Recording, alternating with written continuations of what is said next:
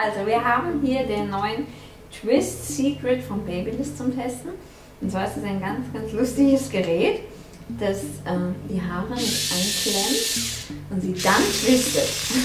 Das probieren wir jetzt aus. Und zwar nehme ich da einfach mal eine dünne Strähne. Und ich würde sicherheitshalber wirklich mal mit einer Freundin probieren, auch wenn auf der Packung steht Do It Yourself. Man will ja nicht gleich irgendwie die Haare verstrubbeln und dann die wieder auseinanderkriegen. So, und zwar klemmt man die hier mit diesen Klammern ein. Das geht hier so auf. Und dann nehme ich da eine Strähne. Die nächste. Ich denke schon, dass es wichtig ist, dass die ungefähr gleich breit sind. So. Jetzt kommt hier dieses Rasenmähergeräusch. Nicht erschrecken. Ganz wichtig, zuerst nach oben gehen. Dann passiert hier wieder.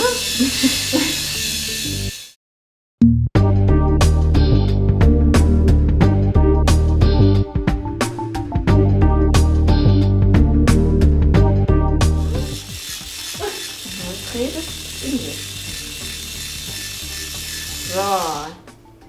Wenn ich das jetzt hier loslasse, dann dürfte das.